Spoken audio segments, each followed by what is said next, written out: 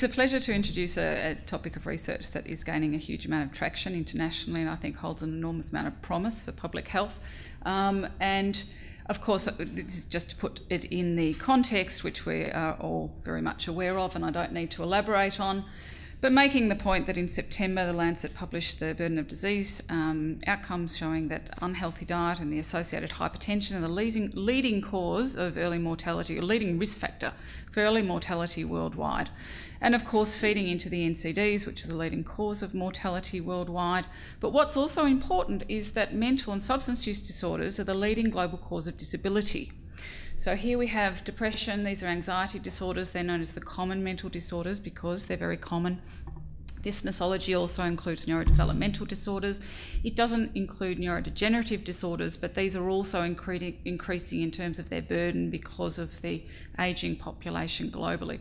What hasn't been considered, what hasn't been taken into account in the estimations of the costs associated with unhealthy diet is the fact that these two things are linked. Unhealthy diet, mental disorders, neurodegenerative disorders are actually linked. And this is what I'm going to briefly discuss today with a focus on the early life period. Um, so 2010, um, I published this study. I was very fortunate to be kind of the first in, in the area. Um, this is my PhD, and it looked at the relationship between overall diet quality and common mental disorders clinically determined in a large representative sample of women. So, this has really kick started a lot of work in the area. And in that time, since 2010, we now have a very well developed and consistent evidence base from the observational data that tells us that unhealthy diets are linked to the prevalence of and the risk for uh, particularly depression. Healthy diets are protective, and we now have uh, some very nice meta analyses, systematic reviews, and meta analyses to show this. Now, this is the case across cultures, across countries, and across age groups. And this is key because a healthy diet in Japan looks different to one in Norway, to one in Spain, to one in Australia, and yet they have at their heart a higher intake of nutrient dense foods, fibre, etc. What is more um, consistent across the globe, of course, is what the Western unhealthy dietary pattern looks like, and that's because it's coming from the one source, which is industry. And, uh, and really feeding into um, these Western dietary patterns and the ill health that go with them. But we've done a lot of work in adolescence, and adolescence is a particularly um, important period for mental health. Half of all mental disorders start before the age of 14. Um, as well as leading the International Society for Nutritional Psychiatry research in Australia, I lead the Alliance for the Prevention of Mental Disorders. And so, this idea that you might be able to um, step into a, a space that is really largely empty at this point and look at ways in which we might develop population level uh, universal prevention strategies for mental disorders in the same way that we attempt to do for physical disorders tells us that diet as a particularly modifiable risk factor uh, may be an important target. So we've done quite a few studies. I'm just going to briefly go across some of them here. This is one that we did in collaboration with the Murdoch, approximately 7,000 adolescents from around Australia, showing that uh, their dietary habits were very clearly linked to their um, likelihood of having uh, adolescent depression. Now, in this particular study, we were able to take into account a wide range of potentially confounding variables, which of course is important. I should point out that this has also been done very extensively in the adult literature. We've looked in quite a lot of detail at the possibility of residual confounding, SES, income, education, um, other health behaviours, etc. That doesn't explain the, the links that we see between diet and mental health. Reverse causality doesn't explain the links that we see. And uh, in this particular one, we were able to take into account these familiar factors that are also very important. We've done prospective studies. This was one with the WHO Collaborating Centre for Obesity Prevention, where we saw that dietary patterns predicted mental health, both cross sectionally and over time. Um, in uh, Victorian adolescents, we've done studies in, in London, very socially deprived areas of London, and showed that diet still comes up as a risk factor, even in the face of very severe social problems. So, this is again quite well established in adolescents that diet quality is related to their likelihood or risk for mental disorder, uh, particularly depression, common mental disorder. Now, again, with my prevention hat on, I'm very interested in the intergenerational transmission of disease and how we might actually, uh, again, prevent and prevent the next generation um, having an increased risk of mental disorder. I'm very interested in this. The Barker hypothesis and the, Bar- the data from the 80s tell us that early life nutritional exposures are important to the risk for adult disease, particularly cardiometabolic disorders. We, uh, there were very many extensive animal data to suggest that what um, uh, the nutritional exposures during um, development in utero and in early life are related to factors that um, are also in turn related to the risk for mental disorder. So, aspects of um, brain development, um, um, the dopaminergic and opioid systems, so the reward systems, serotonergic systems, etc. So we wanted to see whether there was a relationship between very early life nutritional exposures and mental disorders in um, a large cohort of uh, mothers and their children. So we had data from NARSAD in the US to look at um, this in the very large MOBA cohort study. We looked at data from 23,000 mothers and their children. And we looked at mothers' diets during pregnancy, we looked at children's diets over the first few years of life, and we modelled the trajectory of um, emotional regulation, markers of emo- emotional regulation that are linked to the risk for mental disorder um, from 18 months to five years. And what we saw was that there were very clear relationships between exposures during pregnancy and in early life, nutritional exposures, and the kids' um, mental health outcomes. So this was published in JAACAP, which is one of the leading journals in uh, paediatric research. And here you can see the data that we're able to take into account as particularly uh, potential explanatory variables. And this is a summary of the findings. So higher intakes of, or higher scores on an unhealthy dietary pattern during pregnancy were consistently linked to higher externalizing pattern, um, externalizing behaviours over 18 months to five years. But the kids' diets were also important.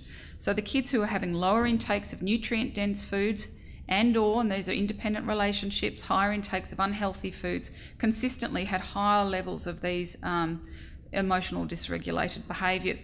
Now, importantly, this has now been replicated in two other really uh, good quality cohort studies in ALSPAC in the UK and the Generation R study in uh, the Netherlands. So it's really backing up what we see in the animal models that what happens during pregnancy in terms of diet is relevant to children's mental health outcomes, not just their physical health outcomes. Uh, these are the Generation R study and ALSPAC, and these will be available in the um, in the pack.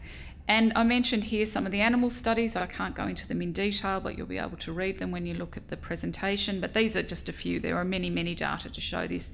And of course, we know in Australia that um, children's dietary intakes are suboptimal. And again, I don't need to go into detail about this. So we want to know what the biological pathways are that really mediate these relationships so that we can target interventions and you know understand how things are working. We think inflammation and oxidative stress are really important. So immune function, um, this is linked to the risk for, for depression in particular. Brain-derived neurotrophic factors. So the neurotrophins and brain plasticity, particularly as they relate to the hippocampus, is important. Epigenetic pathways and the gut microbiota, which is an increasing uh, area of, of uh, information.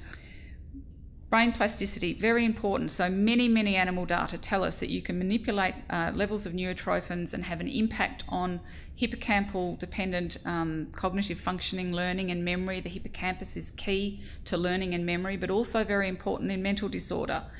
And we generated the first data in humans, these were published last month, showing that uh, dietary patterns were linked to hippocampal volume in older adults. So you can see here the age-related decline. This is at baseline, this is four years later. So you can see that there's an age-related atrophy, which is normal. But this is the group poor diet, average diet, and good diet. And these were very clearly linked. And in fact, the dietary patterns, uh, the variance was equivalent to about 60% of the age-related decline in hippocampal volume. So it wasn't a tr trivial amount it gave rise to some very interesting headlines around the world. But um, I've often said junk food rots your brain, so it was nice to be able to publish some evidence to support that.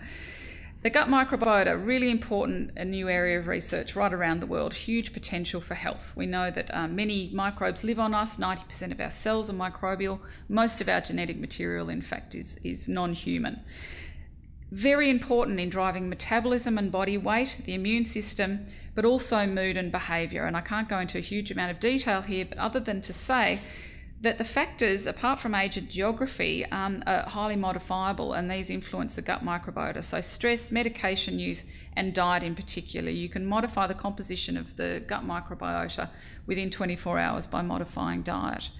Um, and this again tells us that potentially uh, the gut microbiota are one of the primary pathways by, by which environmental exposures are transduced to a risk for disease. Um, the key thing is that the gut microbiota in babies in the first um, period of life seems to drive brain development. It also drives the development of the immune system. Now, babies get their microbiota from their mother. This points to the critical importance of trying to ensure that mother's microbiota, gut health, vaginal microbiota, which seeds the baby, is as healthy as it can be.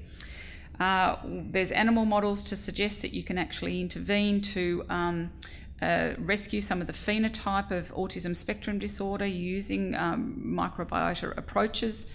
Um, again, I'm not going to go into these because we don't have time, but the other key point is that if we're thinking about the intergenerational transmission of disease, the physical health of the parents before and during pregnancy seem to be very clearly related to the risk for mental and neurodevelopmental outcomes in kids. So, for example, gestational diabetes is linked to an increased risk of schizophrenia. Metabolic conditions are linked to autism and other neurodevelopmental disorders. This is in the mothers. In the fathers, overweight and obesity is linked to um, autism spectrum disorders.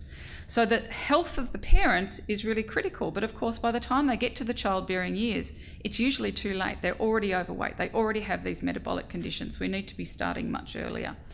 So we've written quite a bit about this. We're just starting a trial um, in collaboration with the Murdoch Children's Research Institute and some of the researchers there, where we're targeting um, women coming into the third trimester of pregnancy, taking a very gut focused approach, dietary approach, to try and improve their diets with the aim of improving their own gut microbiota and then hopefully that of their children. So, the key point is that if we want to intervene to prevent mental disorder and this intergenerational transmission of disease, we need to make sure that uh, these adolescents and early adults are in a healthy state, and that means we really have to start right back here. Um, okay, so here we go diet, alcohol, smoking, and, and, physical activity and cannabis use. These are all critical to, um, to target. This is a really important understanding, of course. You know, this is, goes back to this use of dietary patterns rather than focusing on individual nutrients. You cannot just supplement your way ar- around this.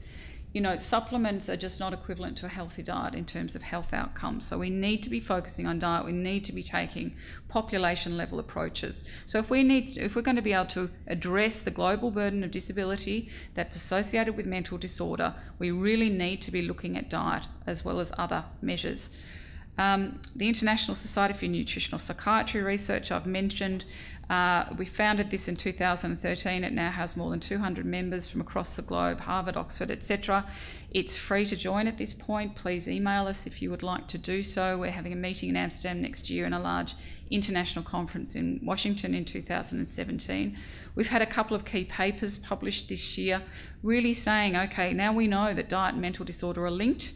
Uh, this is a really important understanding that will allow us to hopefully intervene uh, with population level prevention and treatment strategies. We had our consensus statement published uh, a bit earlier, and now, for the first time, on the basis of the work we've done, uh, the US Dietary Guidelines for Americans Scientific Committee has recommended that they consider uh, neuropsychological health um, when they're thinking about the dietary recommendations as well as somatic disease. Physical health, mental health, they're two parts of the same whole. They shouldn't be dichotomised. We need to be focusing on physical health if we want to improve mental health at the population level.